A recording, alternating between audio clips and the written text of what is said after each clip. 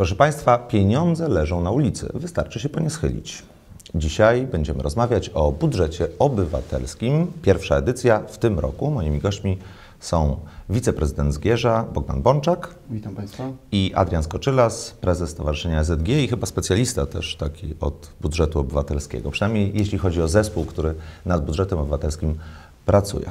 Cezary Adamski, zapraszam na program w Centrum Uwagi. Panowie, co to jest budżet obywatelski? Tak y, dla Zgierzan po ludzku, po prostu, najlepiej naszymi słowami, a, bo zainteresowanie zdaje się póki co przynajmniej jest niewielkie. Budżet obywatelski najprościej można określić jako a, fragment e, budżetu miasta, który jest e, wyjęty z, e, pod decyzji Rady Miasta i przekazany mieszkańcom przez prezydenta, aby mogli sami zadecydować, na jakie inwestycje czy na jakie działania, załóżmy prospołeczne, będę, będą te pieniądze wykorzystane. Czyli kawałek tortu oddany mieszkańcom do Dokładnie, decyzji. dokładnie tak. Jest to e, oddanie pewnego narzędzia i możliwości e, mieszkańcom, podstawa budowy e, społeczeństwa Pan mówi, obywatelskiego. panie prezydencie, o tym, że wyjmuje to spod pana decyzji i oddaje to mieszkańcom. Władza nie lubi się dzielić raczej y, taką czemu? odpowiedzialnością Ja myślę, że decyzjami. prezydent miasta w tej kadencji pokazuje od samego początku, że wręcz przeciwnie. A państwo też e, pomagali i brali udział w tym, jak chociażby e, prezydent pyta mieszkańców, gdzie mamy posprzątać kolejną działkę. Za chwilę zresztą będziemy ponownie o to pytać. A my zainwestowaliśmy Zgłaszają się do nas mieszkańcy, którzy Bardzo mówią, dobrze. y, poprosimy jeszcze tu i tu i tu. Bardzo dobrze, będziemy to poddawać też pod głosowanie mieszkańców, aby e, tą kolejność chociażby ustalić. E, Będziemy i, prezydent do tego e, zakupił narzędzie, które jako pierwszy raz jest wy- wykorzystywane w trakcie procedowania budżetu obywatelskiego, którym będzie chciał się posługiwać i znać zdanie mieszkańców, co chcieli. e, Panie prezydencie, wy jesteście młodzi ludzie, mówię o panu, o panu prezydencie, o sekretarzu miasta i no, być może to jest trochę też inny sposób robienia polityki, e, tej nawet na poziomie lokalnym, że nagle jakoś tak się to zmienia, w przeciwieństwie do poprzednich kadencji, pamiętamy zresztą, prawda? Jedyne konsultacje, które chyba się odbyły, o ile dobrze pamiętam, społeczne, to były dotyczące Straży Miejskiej, to zresztą e, konsultacje, które były wbrew woli i opinii pani prezydent poprzedniej. No a teraz nagle tak, do ludzi, prosto, tak? Proszę Nie, to Państwa, proszę zdecydować, co Ale chcecie za te to, pieniądze. nie jest, to nie jest nagle, natomiast zdecydowanie jest to prosto. E, Wraz z prezydentem Staniszewskim e, byliśmy przecież e, przez dwa ostatnie lata jako wiceprezydenci i proponowaliśmy wiele rozwiązań. Niektóre udało się, e, do, do niektórych udało się przekonać panią prezydent, do niektórych e, nie. A niektóre możecie teraz dopiero wdrażać. Dziś jest, dziś jest to e, działanie i projekt autorski prezydenta Staniszewskiego, w którym mam przyjemność uczestniczyć i będę robił wszystko, żeby właśnie w tym kierunku go wspierać. E, Panie Adrianie, jakiś taki, taka zachęta dla mieszkańców odnośnie tego, może na przykładach, na przykład innych miast, odnośnie tego, jak korzystać z budżetu obywatelskiego. Przede wszystkim, dlaczego warto? E, Warto, ponieważ można samemu, tak jak Pan Prezydent powiedział, e, zaproponować i zdecydować, co będzie realizowane w kolejnym roku budżetowym. Tak? Jeżeli na przykład widzimy, że ulica, przy której mieszkamy, czy chodnik wymagają remontu, jeżeli brakuje gdzieś w, w pobliżu placu zabaw, bądź, e, nie wiem, stojaków rowerowych na przykład, można to zaproponować, opisać ten wniosek, przekonać jakąś grupę ludzi, żeby, żeby ten e, projekt poparli w głosowaniu, a później cieszyć się z tego, że Mówimy- to zostało zrealizowane. Mówimy nie o dużych inwestycjach, typu budowa, nie wiem, bloku komunalnego, który kosztuje wiele pieniędzy, tak? Tylko mówimy o takich rzeczach, które możemy tu i teraz, zaraz koło siebie zrobić za nieduże pieniądze. Tak, wartość maksymalna jednego projektu e, w tym budżecie obywatelskim pierwszym Zgierzu e, wynosi 150 tysięcy. No 150 tysięcy to myślę, że jest już taka, taka kwota, że coś, no może nie, nie tyle wielkiego i dużego, tak jak blok komunalny, ale myślę, że coś zauważalnego na pewno da radę e, zrealizować. Mhm. Y, Co to mogą być za pomysły? To znaczy, co możemy podpowiedzieć mieszkańcom, że mogą za te pieniądze w ramach budżetu obywatelskiego, w ramach tego kawałka tortu zrealizować albo o co wnioskować? Czy ja myślę, że to e, tak naprawdę może być e, bez mała wszystko, co mieszkańcy widzą wokół siebie, że jest potrzebne. Czyli tak jak e, Adrian powiedział, czy to będzie e, potrzebny kawałek e, chodnika bądź nowy chodnik, czy to będzie potrzebny plac zabaw, boisko na, na, na osiedlu, czy też wyremontowanie czegoś, z czego korzystają, korzystali na przykład mieszkańcy, a dzisiaj to nie funkcjonuje, czy wręcz jakieś akcje społeczne czy promocyjne. Czyli nie mówimy Znam- tylko o materialnych takich wymiernych, Nie, tak? nie, Typu chodnik, tylko mówimy o jakichś akcjach. Absolutnie nie. Znam e, takie przypadki w Polsce, gdzie na przykład mieszkańcy wymyślili sobie, że a, chcieliby, aby do ich miasta przyjechał jakiś teatr z konkretnym przedstawieniem. Czy to też było zrealizowane Przegłosowali. w ramach budżetu Oczywiście, że tak, jest to możliwe. Pewnie, najlepiej a, z punktu widzenia miasta, bo zostaje na dłużej, są te inwestycje infrastrukturalne, tak? Bo z tego korzystamy przez wiele kolejnych lat. E, To, o czym przed chwilą powiedziałem, była jednorazowa akcja.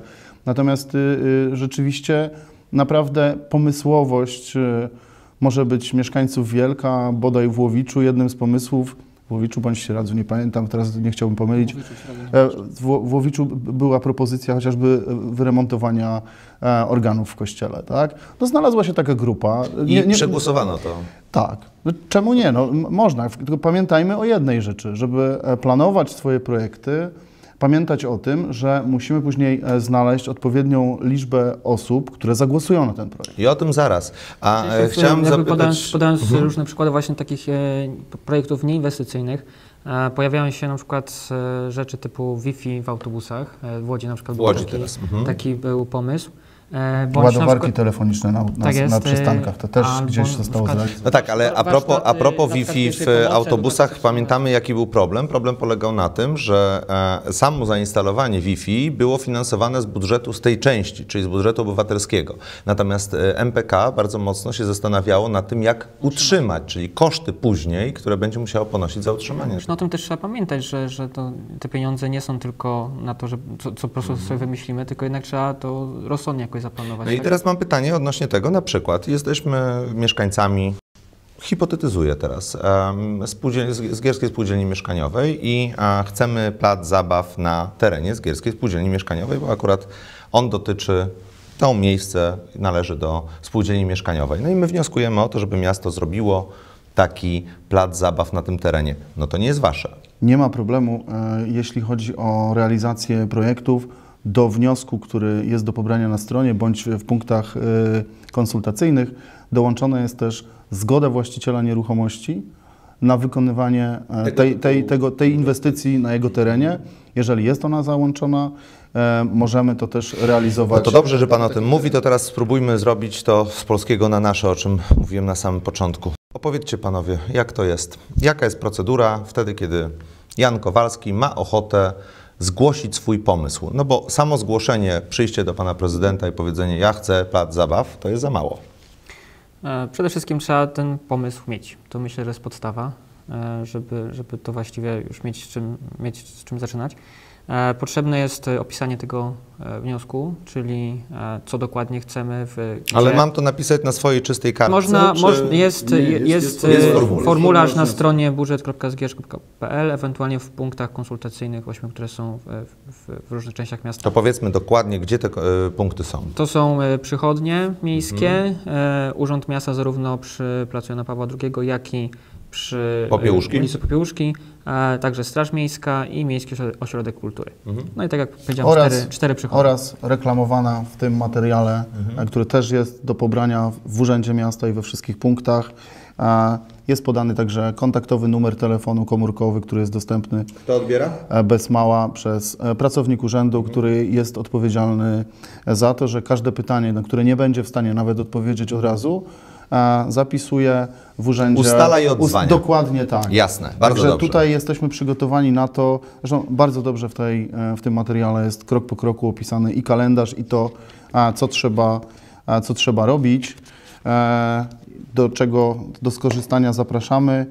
Na razie, nie ukrywam, mamy lekką zadyszkę, jeśli chodzi o mieszkańców, bo co, coś się zacięło. O tym, y, o tym za chwilę, y, ale po kolei najpierw instruktaż. y, Czyli już w tym, w, w tym Bierzemy sobie ze tak, strony, ze strony ściągamy bądź z tych albo- wspomnianych e, punktów Mhm. e, fo- formularz, w którym opisujemy nasz pomysł, tak? czyli co chcemy zrobić, w którym miejscu, E, Także jak, e, jaki jest szacowany koszt Mhm. danej, danej inwestycji, czy, czy projektu generalnie.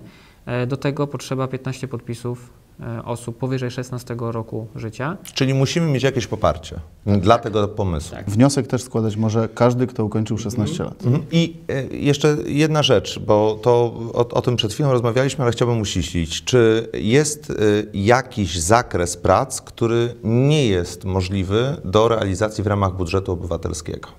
To znaczy w pierwszej kolejności są preferowane tematy, które da się zrealizować w ciągu jednego roku. Nie wyklucza to do końca wieloletnich inwestycji, ale trzeba pamiętać, że e, musi być realność. Ale za te pieniądze to raczej jest to krótka. Jasne. Po pierwsze. No po drugie, e, będą wykluczane e, takie pomysły, które generowałyby duże nakłady finansowe na utrzymanie projektu, tak? E, to, to, to zdecydowanie. Mhm. E, Czyli ja rozumiem, Generalnie że... wszystko, co się mieści w zadaniach Mhm. własnych gminy. Jasne. Czyli jak ja będę miał ochotę zawnioskować o nowy samochód dla Straży Miejskiej, ten drugi, bo pierwszy to już wiem, że przegłosowany przez Radę Miasta i będę miał taką fantazję ułańską, to rozumiem, że też możliwe jest to do sfinansowania z budżetu obywatelskiego. I Jak najbardziej, pod warunkiem, że znajdzie się tylu zgierzan, e, Którzy którzy poprą poprą ten ten wniosek, Znaczy że, 15 jest że potrzeba. z, nie, nie, To jest do, do zgłoszenia do zgłoszenia, Dobrze, do dobrze, zgłoszenia dobrze. 15. Okej, to co dalej, co dalej wobec tego? A Wniosek e, trafia tutaj do, e, do urzędu poprzez czy, czy elektronicznie, bądź e, właśnie w tych punktach. Można go wysłać można- mailowo. Ta, tak. E, Później te wszystkie wnioski, które, są, które będą zgłoszone, są weryfikowane właśnie pod względem formalnym, prawnym, tutaj o czym Pan Prezydent powiedział, no, czy jakby jest faktycznie możliwość ich zrealizowania, tak? czy teren jest odpowiedni i tak dalej, czy, czy mieści też się w tych limitach finansowych. Jeżeli przejdzie pozytywnie weryfikację, to trafia na listę tych wszystkich projektów, z których będzie można wybierać, e, na które będzie można No i jak wybieramy? Powiedzmy, że teraz wy weryfikujecie, tak, jako urząd, jako zespół, e, weryfikujecie te wnioski pod kątem tam poprawności, tak, formalnych e, e, wymagań, no i to trafia do e, głosowania, pod głosowaniem mieszkańców. Jak głosujemy? Myślę, że jeszcze wcześniej, bo jeszcze wcześniej mamy po e, ogłoszeniu listy wszystkich zatwierdzonych wniosków. Każdy wniosek ma nadawany numer, bo przy, e, karta do głosowania będzie wyglądała tak, że na tej karcie będą e, trzy okna, e, głosujemy na trzy projekty i punktacja jest trzy punkty, dwa punkty i jeden punkt. Nie za skomplikowane? Myślę, że nie. I, I teraz numery tych projektów, w zależności od tego, ile chcemy przyznać punktów któremu projektowi, podpisujemy a w odpowiednim Rozumiem, że te punkty się sumują i na sam e, koniec, wtedy kiedy już głosowanie jest zamknięte, sumowane głosy powodują, że jakieś tam Tworzymy, inwestycje- tworzymy listę i później te, te, które wypełnią 500 tysięcy, zmieszczą się w, e, Co to znaczy 500 tysięcy? na budżet obywatelski. e, Bo o tym nie powiedzieliśmy. W tym roku prezydent miasta e, przeznaczył e, 500 tysięcy e, złotych i do tej kwoty będą realizowane projekty. No dobrze, panie prezydencie, to niech pan powie wobec tego, jak się ma to 500 tysięcy do 20 milionów w Łodzi i co można za to zrobić? Wystarczy, wystarczy po, porównać e, budżet miasta Zgierza i budżet Łodzi i to wtedy sobie odpowiemy na to pytanie. No tak, ale panu się Natomiast- wydaje, że te 500 tysięcy złotych, my mamy w ogóle skromny budżet, jeśli chodzi o inwestycje w e, trakcie Niecałe 7 milionów. roku, dokładnie tak, i to się nie zmienia od wielu lat. A czy te 500 tysięcy to jest z jednej strony oczywiście relatywnie w stosunku do, do tego, e, co jest przewidziane na inwestycje w całości, no ale z drugiej strony 500 tysięcy złotych to, no właśnie, no w Łodzi 500 tysięcy to może mieć jeden projekt. Ale panie redaktorze, ja chcę powiedzieć jedno. E, To, że przystąpiliśmy po raz pierwszy do e, budowy budżetu obywatelskiego, w żaden sposób nie zwalnia prezydenta i władz miasta do normalnej pracy, prowadzenia normalnych miejskich inwestycji, czyli robienia kolejnych. Jasne. A niech pan powie, co wtedy, kiedy na przykład na pierwszym miejscu tej listy rankingowej, tych y, głosujących, wszystkich głosów oddanych na. Y, będzie coś, co zostało zaplanowane w budżecie miasta przez prezydenta samodzielnie.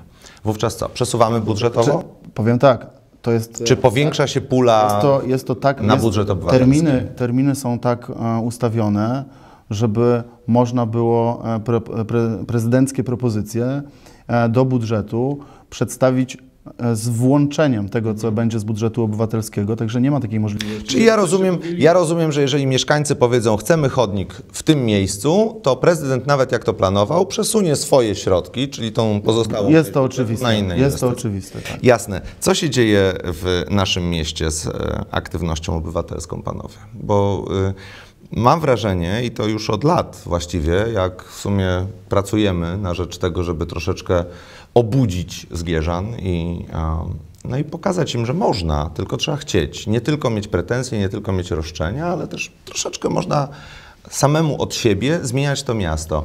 Dlaczego mamy zero wniosków? E, e, Jest e, już prawie za chwilę połowa września, a my mamy zero wniosków. Ale pamiętajmy, Dajemy że pieniądze pamiętajmy, że mieszkańcom termin i nie składa- chcą. Pamiętajmy, że termin składania wniosków jest do 30 września. Jasne, W związku z tym mamy jesteśmy dopiero po, po terminie do 8 trwały konsultacje społeczne prowadzone przez prezydenta. na których frekwencja była, mówiąc delikatnie, mizerna. To prawda. To prawda. e, Spotykaliśmy się z e, miejscami, gdzie na spotkanie no były takie miejsca, gdzie przyszła jedna osoba, tak? Były takie miejsca. E, To trudno. czasu. Nie, nie szkoda. Nie szkoda, bo wydaje mi się, że e, coś zaczęliśmy i myślę, że jeżeli te pierwsze projekty, a, a projekty będą na pewno, bo to już wiem, między innymi mocno pracują rady osiedli e, i organizacje różne pozarządowe nad składaniem projektów i one zostaną złożone w przyszłym roku w ramach tego budżetu obywatelskiego te inwestycje zostaną wykonane, to myślę, że to pokaże i da e, taki namacalny dowód mieszkańcom, że jednak można. Rozmawiałem ze swoim dziadkiem, jeżeli mogę- 91-letnim, panie prezydencie, wczoraj, e, ale zupełnie sprawnym fizycznie, umysłowo i mówię mu, dziadek, jest budżet obywatelski, no denerwuje cię ten chodnik pod domem, powiedz, czy masz ochotę go zmienić, czy nie, czy ewentualnie jakoś po sąsiadach pochodzić tam, te parę podpisów zebrać, no przecież wszyscy będą za tym, żeby, żeby ten chodnik wyremontować. Nie, mi się nie chce. No to będzie miał. No, taki ale chodnik, proszę, jaki proszę, proszę panów, jeszcze dziadka, to ja wytłumaczę, bo ma tyle lat, ile ma. Natomiast ja mam wrażenie, że właśnie takie podejście ma większy zgierza. Ale powiem tak, no, no to, jest, to jest kwestia e, czasu i edukacji w tym, w tym zakresie oraz mówię, pokazania tego, że można. E, My jesteśmy po jednym już e, bolesnym trochę dla nas, bo w zasadzie, e, jak Państwo pamiętacie, promowaliśmy dosyć mocno akcję e, pod, Podwórko Nivea. E, Podwórko, które Skończyło się, jak się zapraszam, skończyło. zapraszam Zgierzan, którzy nie głosowali na to podwórko, a będą przejeżdżali przez Pabianicę, żeby zajrzeć, co powstało. Naprawdę perełka, coś, coś pięknego dla, dla dzieci. E, Wskazaliśmy bardzo dobre miejsce za szkołą numer e, 12. E, Naprawdę mogło być coś fajnego. No, natomiast rzeczywiście ta aktywność e, nasza była no, delikatnie pewnie niewystarczająca. Co możemy zrobić, panie Adrianie, żeby, e, żeby zgierzanie no, zechcieli jednak uczestniczyć w tym, co, na co pozwala władza, bo to jest bardzo istotne, tak? Nagle mamy po wielu, wielu latach... Nie tyle pozwala, władza- do czego władza zaprasza. E, Świetnie, e, ale panie prezydencie, umówmy się, e, do tej pory, to znaczy mówię do poprzedniej kadencji, właściwie to była tendencja stała, nic się nie zmieniało. Władza niechętnie dzieliła się władzą z mieszkańcami. To znaczy raz na cztery lata dana władza oznacza, że jesteśmy nieomylni, koniec kropka. Teraz nagle się coś zmienia.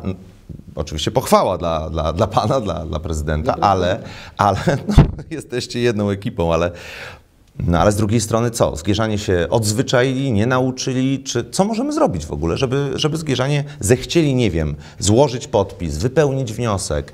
Skoro są pieniądze, mogą ci e, mieszkańcy wziąć na określone inwestycje te pieniądze, zdecydować o tym, co więcej, bezpośrednio, mm, no to co trzeba zrobić? No właśnie, między innymi, jeżeli mogę, między innymi a, prowadzić takie programy jak dzisiaj, informując mieszkańców Edukacyjne. dodatkowo, eduka, edukacyjne i jakby przybliżające e, ten temat choćby budżetu obywatelskiego, ale nie tylko, bo a, takich e, tematów, które prezydent będzie chciał wraz z mieszkańcami, a nie obok mieszkańców realizować, tak, będzie tylko panie więcej. prezydencie, y, umówmy się, Łódź wydała na promocję budżetu obywatelskiego ogromne pieniądze. One były właściwie, y, ile? 200 tysięcy. 200 tysięcy złotych, czyli no, bez mała połowa tego, co jest przewidziane w zgierskim budżecie, prawda? Y, I y, wszystkie informacje były we wszystkich gazetach, we wszy- ulotki i tak dalej, i tak dalej, ale też Spójrzmy, jaki był efekt. Tam były tysiące głosów oddanych na tą listę rankingową tych wszystkich zgłoszonych pomysłów. Raz, że pomysłów było bardzo dużo, dwa, że głosów oddanych było bardzo dużo. A myślę, panie A u nas co będzie? Myślę, panie redaktorze, że no, ja bym tak czarno tego nie widział. Oczywiście e, dla Łodzi wydanie 200 tysięcy na, Wiem, na oni tego promocję, nie widzą. Oni to tego są, nie to widzą nie w są budżecie. pieniądze w Tak skali jest. budżetu, który posiadają. Dla nas by były to potężne pieniądze. Dokładnie. To zachwiałoby jakby sensem Mamy to. e, robienia Czyli tego. mamy- mamy- materiał. E, Publikacja, Publikację. prasowa, publikacja prasowa też będzie, bo będą wydrukowane, będzie wydrukowana lista z opisem wszystkich projektów, które zostały zakwalifikowane.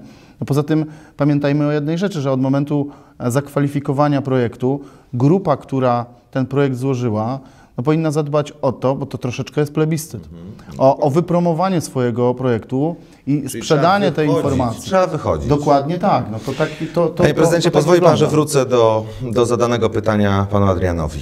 Co robimy, żeby obudzić Zgierzan do aktywności obywatelskiej? Przede wszystkim kropla drąży skałę. Jeżeli y, konsultacje dotyczące Straży Miejskiej były pierwszymi konsultacjami właściwie, które pamiętamy i jeszcze w takiej atmosferze, jakie, jakie, jakiej były, e, zostały przeprowadzone, no to nie dziwmy się, że ludzie są zrażeni tak? E, do, do jakiej większej aktywności, jeżeli widzą, że to faktycznie przynosi efekt. Tak? Różnego rodzaju spotkania, głosowania i tak dalej. Tutaj wspomniane podwórko Niwa, ja pamiętam, że to jest chyba trzeci czy czwarty raz, kiedy to podwórko było głosowane i za Była pierwszym, dogrywka jeszcze, w której i za pierwszym, za pierwszym razem tych głosów było kilkanaście. Teraz było, nie wiem, kilka tysięcy, tak? Więc to się gdzieś tam e, kumuluje i poprawia. A jeżeli chodzi o budżet obywatelski, e, jakby tutaj nie jest istotne, nie jest istotna, istotna kwota, e, to nie wiem, jak, jak się promuje na dobrą sprawę.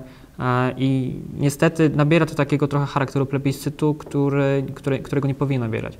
Bo to nie chodzi o przegłosowywanie się i gromadzenie jak największej liczby ło- właśnie głosów poparcia. Chodzi o to, żeby te pomysły były jak najbardziej przemyślane, najbardziej potrzebne, żeby y, ludzie zaczęli się też między sobą troszkę integrować, dyskutować o tym, w jakim, w jakim kierunku e, powinny te wszystkie projekty podążać. Panowie, ile mm, szacujecie? Trochę się po, po, pobawmy, bo dzisiaj egzorcyzmy odcza, odczarowujemy magiczne słowa budżet i obywatelski przymiotnik.